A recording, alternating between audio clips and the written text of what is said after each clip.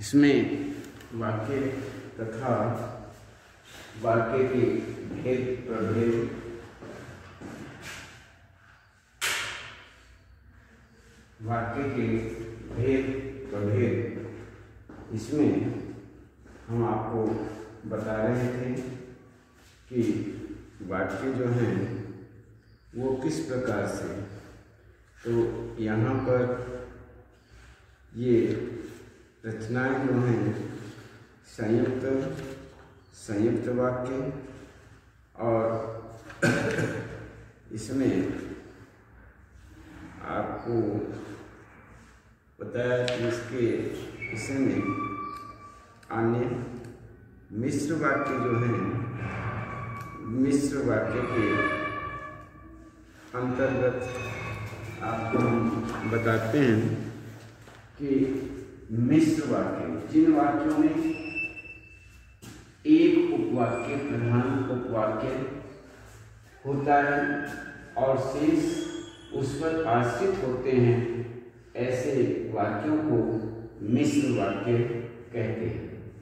जैसे, प्रधान प्रधान उपवाक्य और आश्रित उपवाक्य। इसमें प्रधान उपवाक्य और आश्रित उपवाक्य जैसे गुरुजी ने कहा है। गुरुजी ने कहा है कि सब लोग अपना काम करते रहे। वह कमीज फट गई, जिसे मैंने बाज़ार से खरीदा था, जिसे ये हमारा प्रधान वाक्य वह कमीज फट गई किसी? पूछा, कौन सी कमीज कि जिसे मैंने खरीदा था, जिसे मैंने बाज़ार से खरीदा था, वह कमीज फट गई इसी तरह से गुरुजी ने कहा है। किसी ने पूछा, क्या कहा है? कि सब लोग अपना काम करते रहे। तो ये वाक्य, आश्रित वाक्य है, ये प्रधान है। तो ये हमारे मिश्र वाक्य हुए और मिश्र वाक्य से आगे अर्थ के आधार पर हम देखें कि अर्थ के आधार पर वाक्य देखते हैं।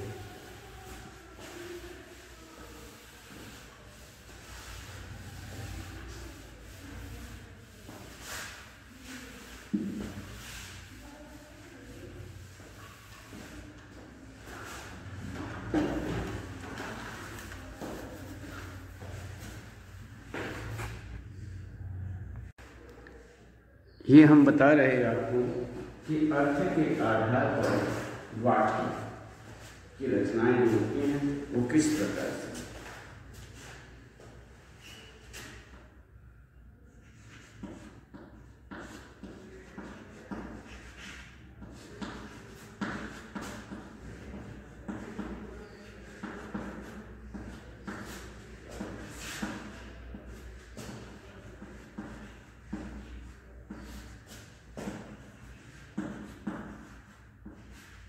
पहले देखते हैं कि अर्थ के आधार पर वाक्य के अर्थ के आधार पर वाक्य के निम्न भेद किए जाते हैं।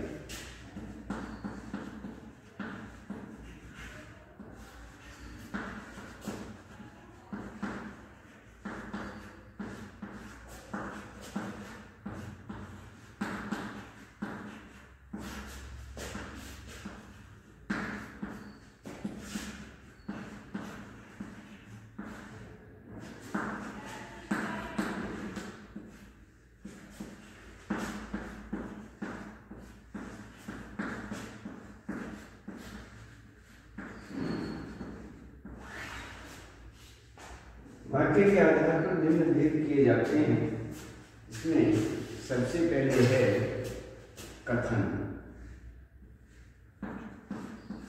कथनात्मक। कथनात्मक वाक्य।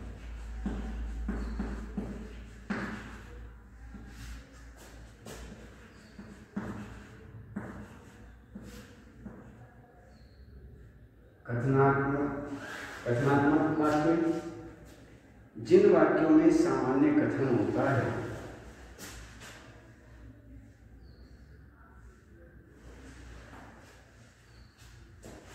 हम एक बार पहले सभी लिख देते हैं, उसके बाद इनकी व्याख्या करते हैं। कथनात्मक वाक्य। दूसरा, निषेधात्मक वाक्य।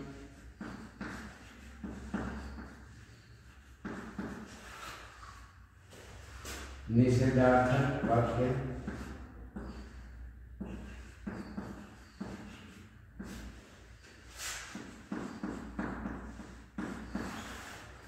तीसरा आज्ञार्थक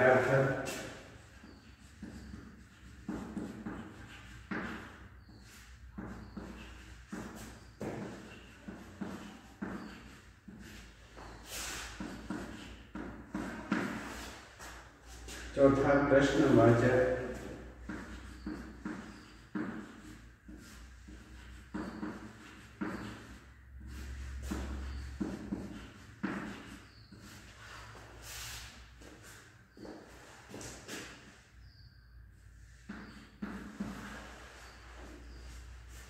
प्रश्न प्रश्नवाचक और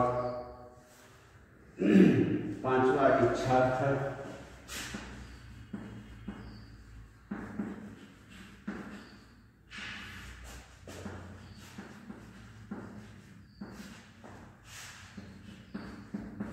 छठा संभावनार्थक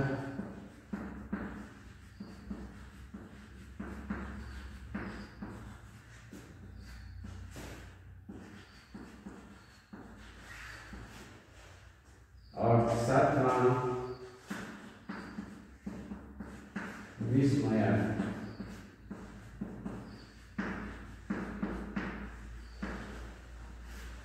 विस्मयादि बोधक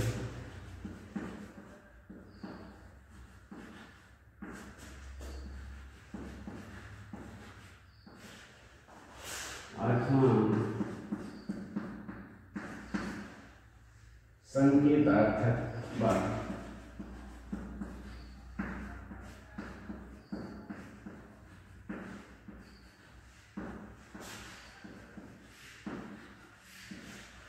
ये वाक्य आपके सामने हैं। अर्थ के आधार पर वाक्यों के भेद इस प्रकार किए जाते हैं कि अर्थ के आधार पर वाक्यों के निम्न भेद हैं। कथनात्मक वाक्य निषेधार्थक निषेधार्थक वाक्य, आज्ञार्थक वाक्य, प्रश्नवाचक वाक्य, इच्छार्थक वाक्य, संभावनार्थक वाक्य विस्मयादि बोधक वाक्य संकेतार्थक वाक्य। ये इस प्रकार से यदि हम अर्थ के आधार पर वाक्यों का भेद करें तो अर्थ के आधार पर वाक्यों का भेद आठ प्रकार से किया जाता है। अब हम अलग अलग देखते हैं कि सबसे पहला कथनात्मक वाक्य के विषय में पढ़ते हैं, देखते हैं कथनात्मक वाक्य किसे कहते हैं? इसमें कथनात्मक वाक्य जिन वाक्यों में सामान्य कथन होता है।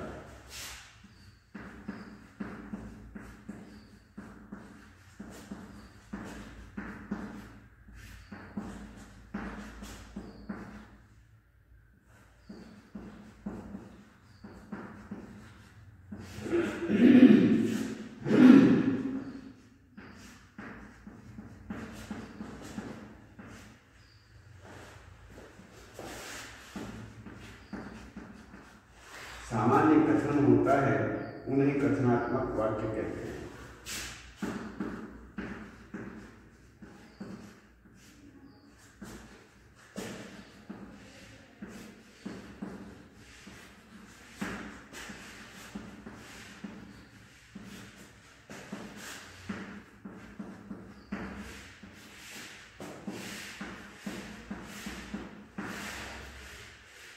इन्हें विधानार्थक वाक्य भी कहा जाता है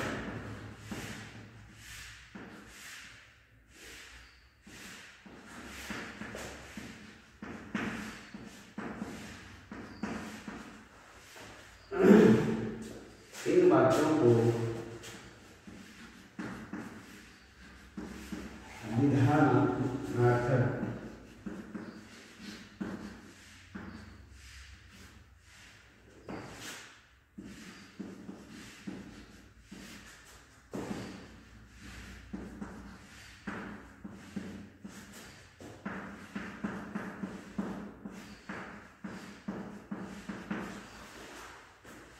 भी कहा जाता है। जैसे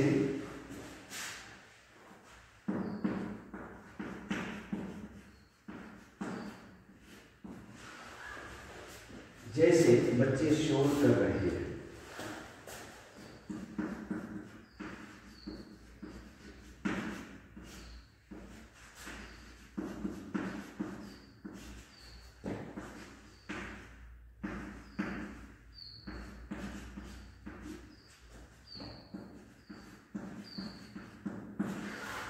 बच्चे शोर कर रहे हैं खाना घर पर ही खाएँगे।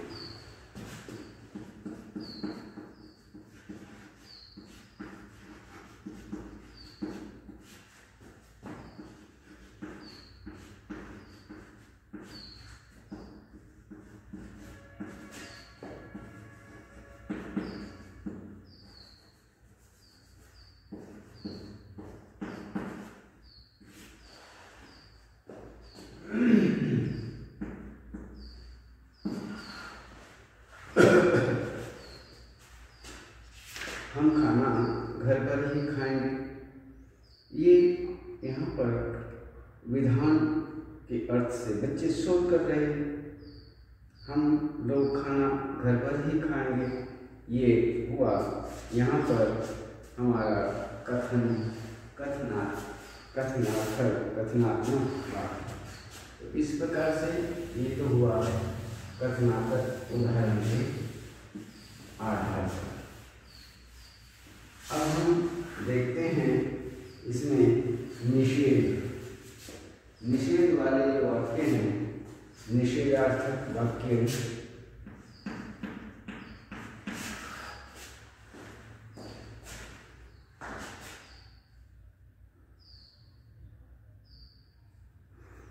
निषेध वाले हम वाक्य देखते हैं इसमें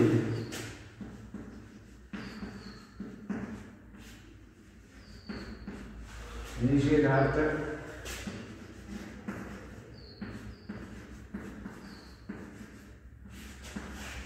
निषेध वाक्यों को देखते हैं, जिन वाक्यों में कथन को नकारा जाता है।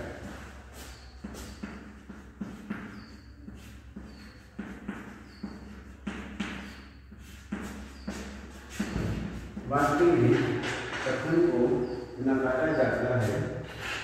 उन वाक्यों को हम कथन वाक्य कहते हैं इसमें हमें विशेष रूप से इन बातों का ध्यान रखना कि हमारे जितने भी वाक्य हैं वो निषेध रूप में होने चाहिए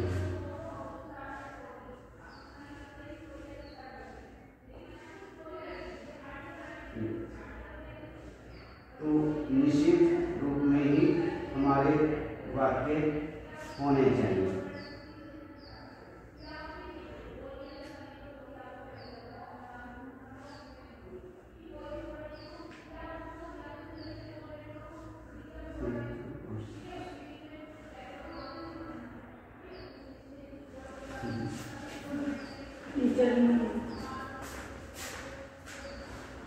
इस प्रकार से यहाँ पर हम देखते हैं कि निषेधात्मक जिन वाक्यों में, जिन वाक्यों में यहाँ पर ये बताया कि जिन वाक्यों में कथन को नकारा जाता है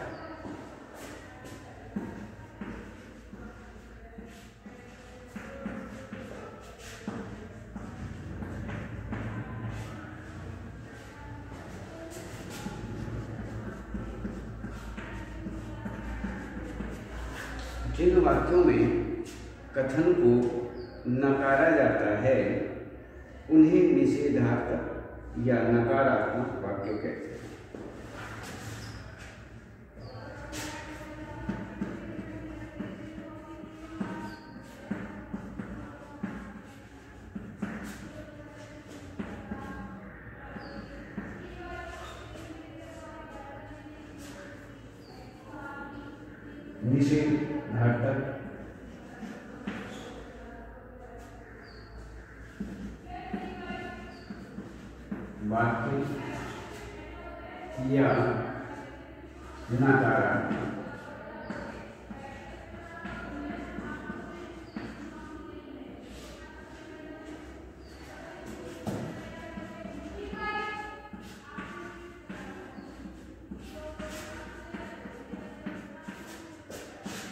नकारात्मक वाक्य कहा जाता है। इसमें हिंदी में प्राय न नहीं तथा मत लगा करके निषेधार्थक वाक्य बनाए जाते हैं। वैसे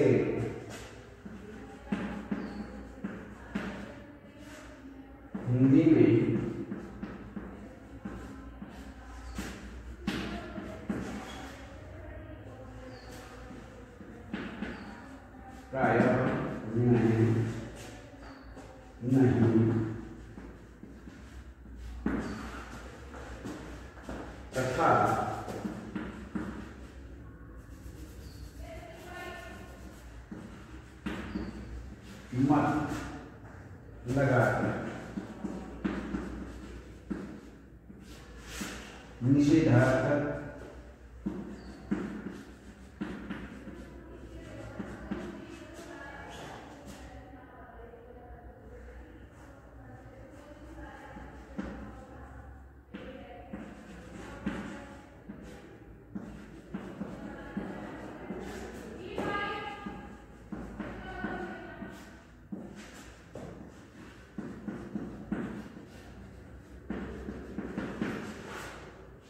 बनाए जाते हैं।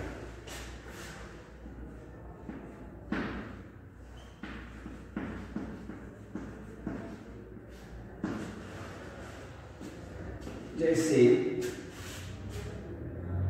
बच्चे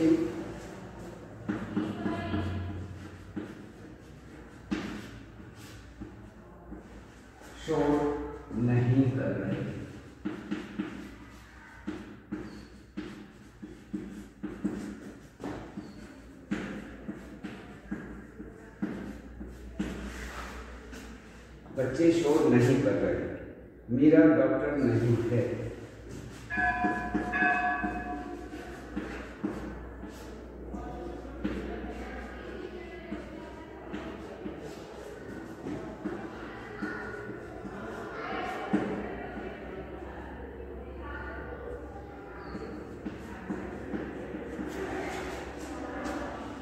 मीरा डॉक्टर नहीं है।